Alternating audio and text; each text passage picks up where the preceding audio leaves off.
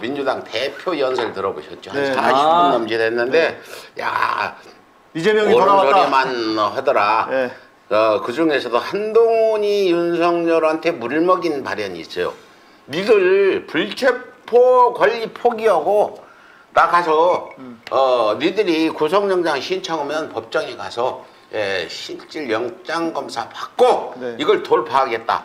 알다시피 서울의 소리 같은 경우는 그래 취약으로 두 가지를 선정하는데 첫 번째 감옥 가는 거, 두 번째 죽는 거야.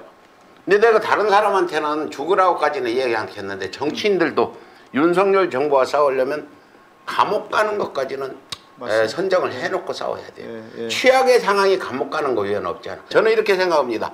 오늘 이재명 대표가 에, 대표 된 후에 최고의 연설이었다. 음. 어, 이재명 대표 유능함을 잘 나타낸 연설이었다. 오늘 이 연설을 들은 사람은 이재명 그 가짜뉴스에 속아서 안 찍은 분들, 또 포기한 사람들, 어, 또 예, 민주당 당원이라는 자들이 윤석열 찍은 사람들, 이 사람들은 많이 후회할 거라고 보는데 확실하니 이재명 대표의 그 비전을 잘 설명해 준 거다. 죽으려고 각오하고 나서면은 예, 누구도 건드리지 못한다는 거 오늘 이재명 대표가 보여준 것 같죠? 예, 감옥 갈 각오로 하면 됩니다. 이재명 대표가 감옥 간다면 우리가 가만히 있을 겁니까? 죄도 없이? 그렇죠. 국민들이 가만히 있지 않을 겁니다.